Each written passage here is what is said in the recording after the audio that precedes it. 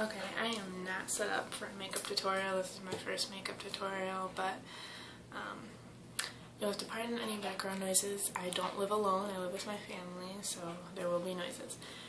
I'm going to show you how to do like a brown smoky eye. Um, instead of blacks and grays, we're going to use golds and browns and beiges and stuff.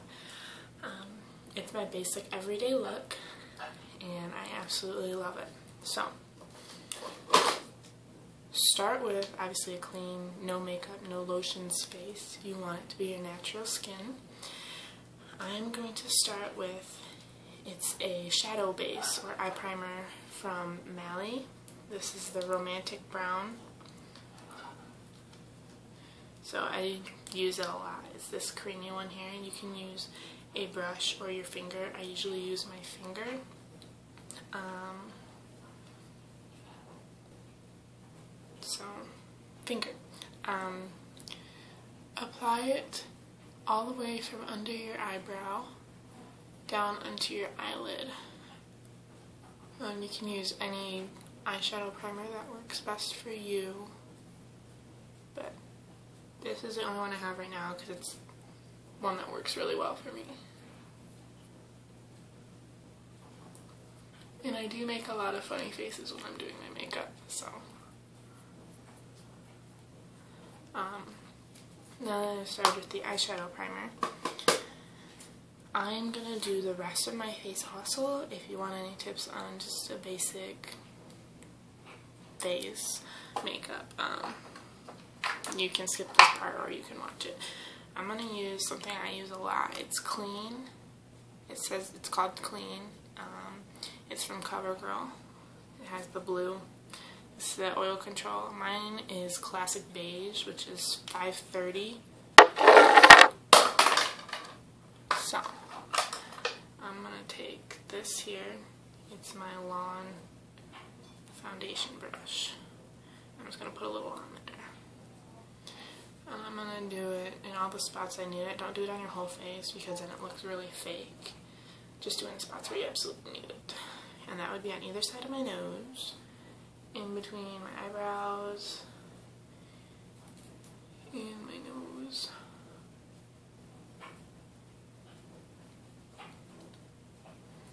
And I'm also going to do a little under my eye. If you really need good dark circle or kind of like a blue purple tint you have on it, if you need good coverage for that, use like an orange or peach pressed foundation. Um, it works really well.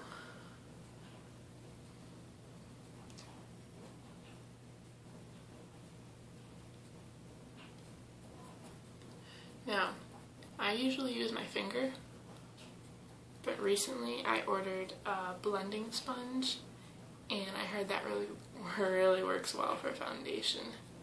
So I'm going to try that from now on. So you just want to blend it out so it looks even with the rest of your face.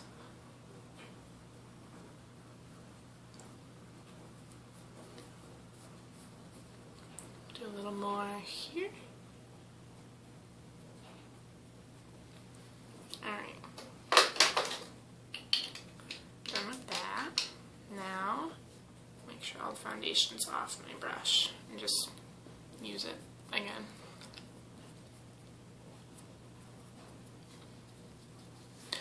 Um, I'm going to apply another CoverGirl product. It's a pressed powder. It's in the green. It's for sensitive skin. My skin is pretty sensitive. It does come with this little puff, but I've used it so much, I probably should throw it away.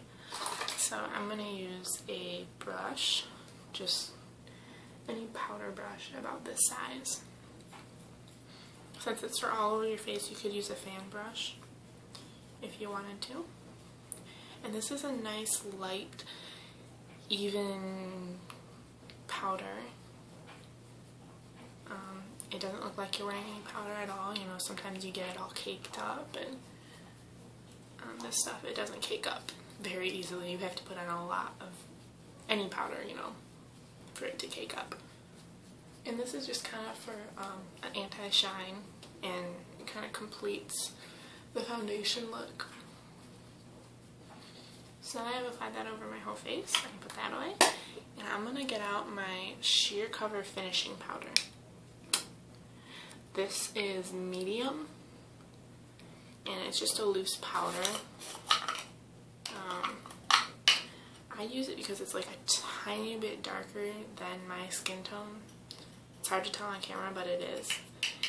And I'm just going to apply it under my cheekbones as a base um, for my contouring powder, which is just like a bronzer. It's a couple shades darker than your skin. It should be anyway. And then I'm going to put it on my nose. And just forehead, because I have a lot of problems with that. I'm done with that. Then I'm going to take my Maybelline New York Mineral Powder. Um, this is Nude Light 4. It's not light, to be honest. It's kind of like, it's what I wear in the summer when I'm tanner. It's kind of more of a dark. This is a couple shades darker than my winter skin, so I use this as my bronzer for my cheeks. You're just going to put it just underneath, maybe onto the apples of your cheeks a little bit. Kind of work it in to the side of your face and down your jawline. So from temple to jawline, just kind of a nice line, and then under the apples of your cheeks. And this is going to create some nice definition, and you'll have really nice cheekbones.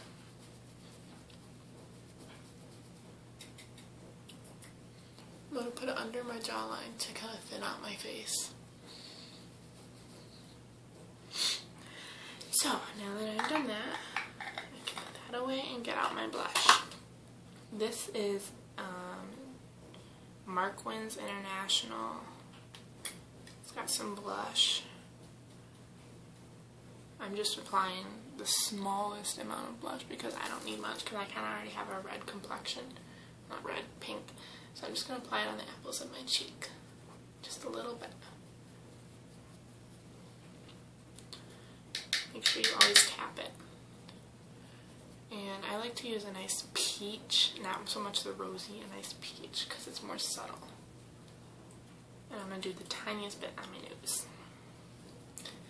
Um, if you really want to find out where you should put blush, tip your head upside down for about 15 seconds and look up. And the parts of your face where it's like red and you notice a difference in color, that's where you should put it.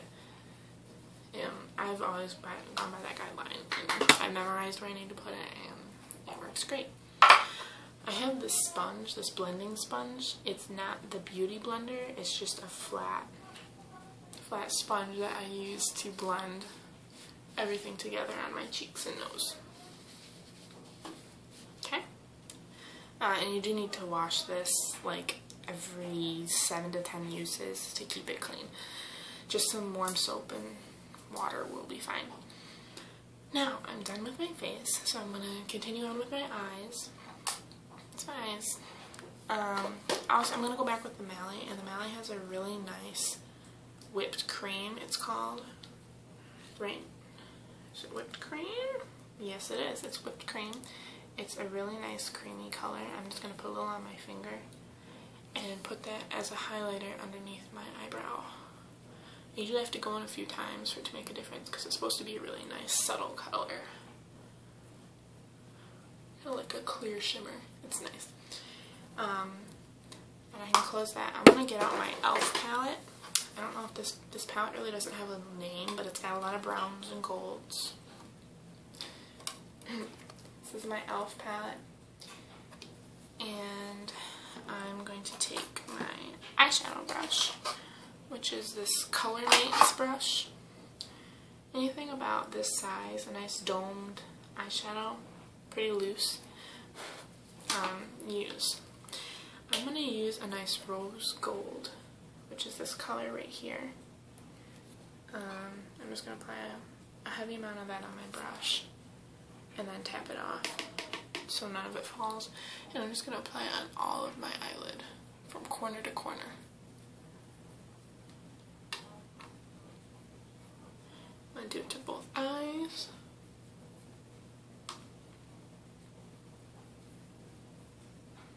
Okay, make sure it looks as even as you can get it.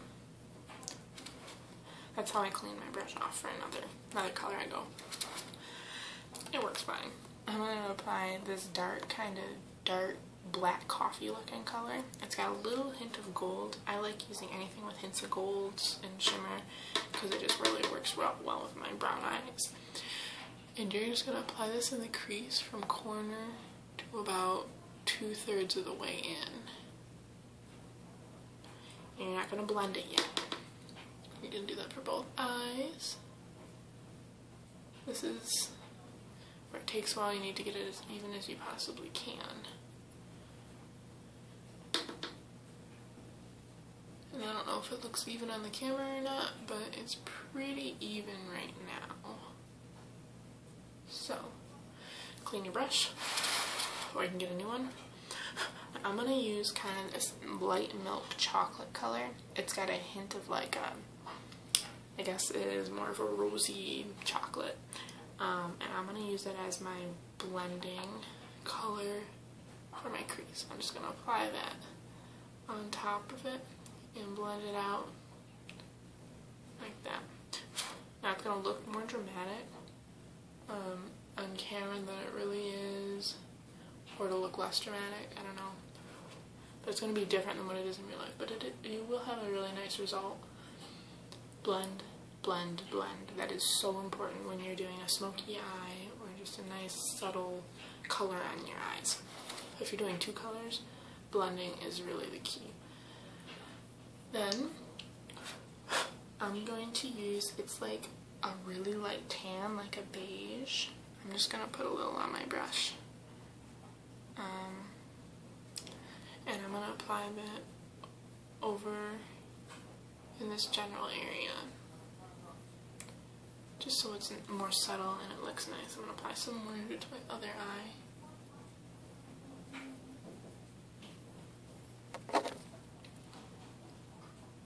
Okay, just keep applying that to your general brow bone. It's going to start to come together once you're done with the mascara because that's like your last step. Then it really looks like a nice nude smoky eye. Now, I'm going to take a smaller brush. Let's do this one here.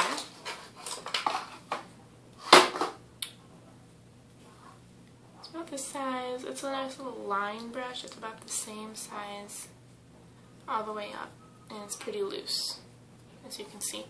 I'm going to take a nice, like, I don't know, I guess it would be another rosy gold, but in a different shade, with a hint of brown. I'm going to tap that on the very end, you can't see it, but then I'm going to put it in this area to kind of follow through on the crease. It just gives it a little pop of color. You don't have to do this step if you don't want. I do it just because I like being different and not a lot of people do this. That I've noticed. Maybe you do. Good for you.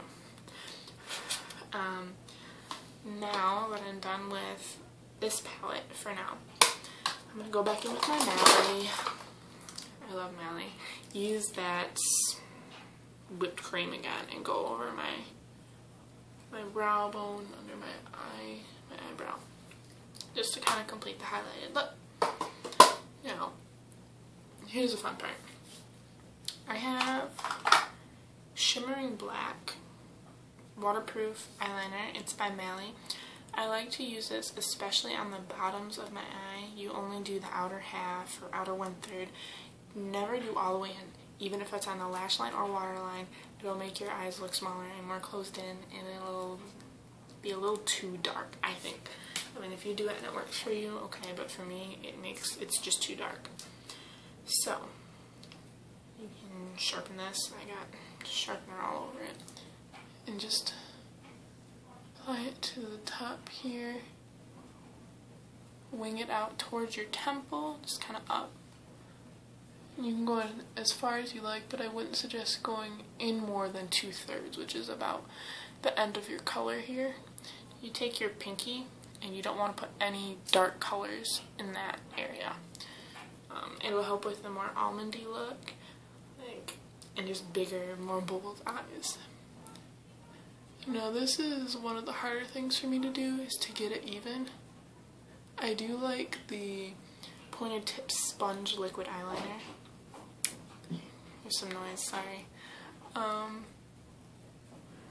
it does work really well. I ran out a couple days ago and I haven't gotten to the store because I live in Michigan. It's January and the roads are really bad. So I'll just use this for now. It works.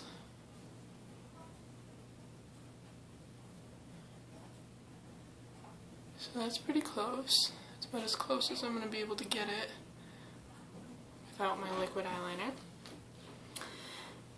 Now I'm going to take the same eyeliner, I just had to sharpen it real quick. Just to get more of a fine tip point so I can get in here better. I'm going to do just the outer like one fourth on the lash line. I try never to do the waterline unless it's for like a costume or something because it just it makes it too dark. I'm going to take the end of any other, if there's like a sponge on the tip. Okay, so you take the sponge tip and you're just going to kind of blend it so it doesn't look so defined. Make sure it's not in your water line.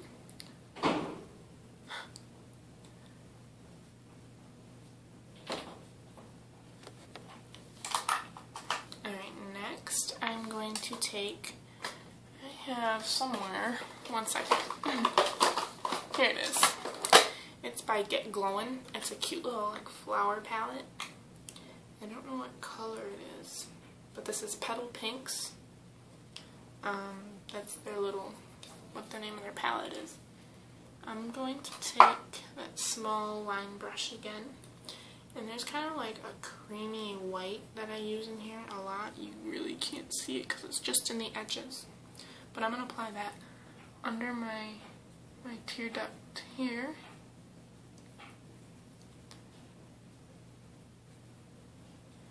This just adds a little color and makes your eyes look brighter. And I'm just going to go up a little bit with it.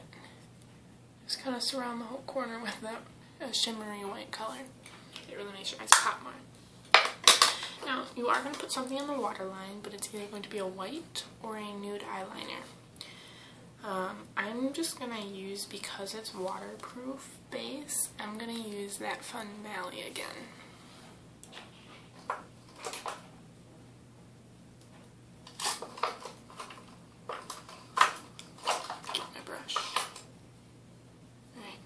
Here's a fun brush. It's a really short, stubbly brush. I'm just going to put a little bit on the end. And I'm going to apply this um, in my waterline. Go pretty light with it, otherwise it looks really obvious. This is just, this just gives your eye a nice pop. Um, You can do it heavier in the outer corner, but get lighter as you go to the inside like you would with any other color.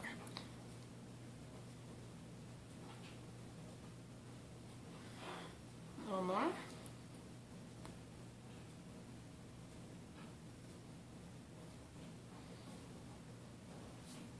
You can see it's just a nice, it's a nude eyeliner. It looks just like your skin, if not a little lighter. Now,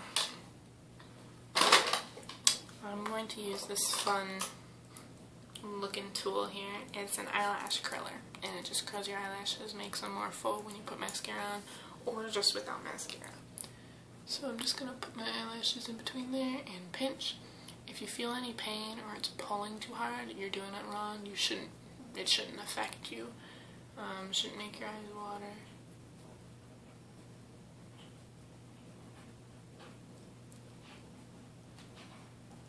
There we go. Now this is my Mally mascara, just in black, I think, yeah. It's kind of cool. Um, it's got like,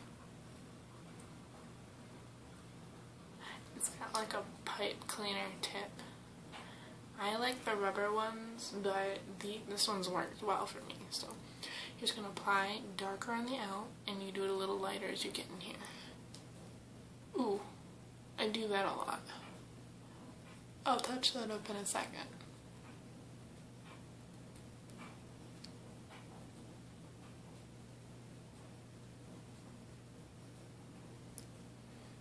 Now, it helps when you blink into it.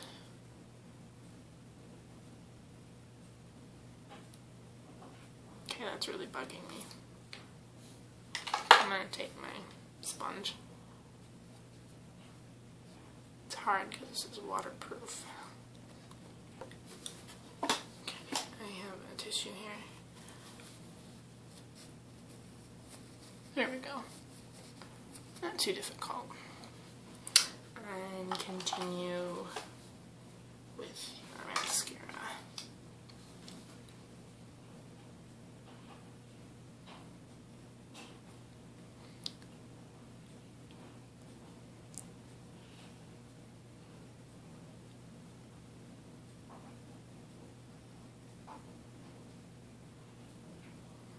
Do a little bit on the bottom, but only like the outer half eyelashes. Because if you do all of them all the way in, it will make your eye look more closed in. Then do your other one. Duh.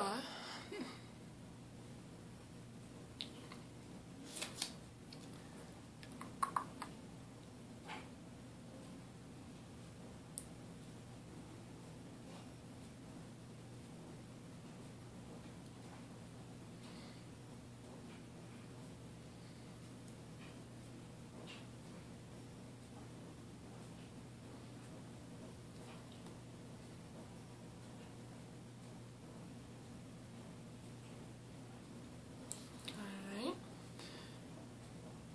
Now, sometimes when I do my eyelashes, they touch the crease of where I put eyeshadow on.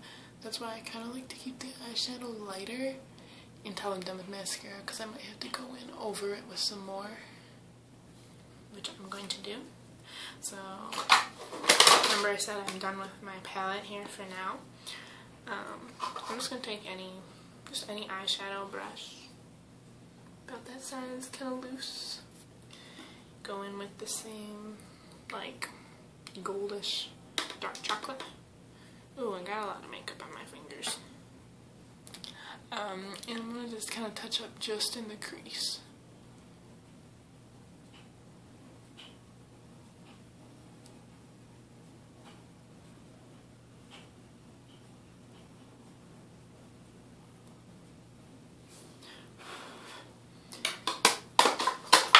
Let's see if I can wipe makeup off. Might have to rinse it off later, but um, that's basically my whole look. You can change the colors around, but just kind of to the same like um, shades, like darker in the creases, lighter as you blend out, lighter on the lid. You can also have, um, yeah, here it is, nice clear sparkles you can put over your eyelid. I have it in um, Revlon Photo Ready primer and eyeshadow. See, it's um, number 510 Graffiti. It's got some nice colors in here. I use this a lot for my eyeshadow. Um, but this is nice. You would think it's a really intense white, but it's just a clear sparkle you can put over anything. So that's just if you want to intensify it a little bit. I usually do because it just looks nice. There we go. And that, yeah, and that just kind of completes your whole look. So you can kind of just see my basic, basic look there. Um, yeah, change up colors, um, darken it, lighten it, whatever your taste is but that's my brown nude smoky eye. Um, just using natural colors. Um, subscribe, like, comment, do anything you like, and I'll hopefully be posting more with different ideas and even some hair tutorials. Bye!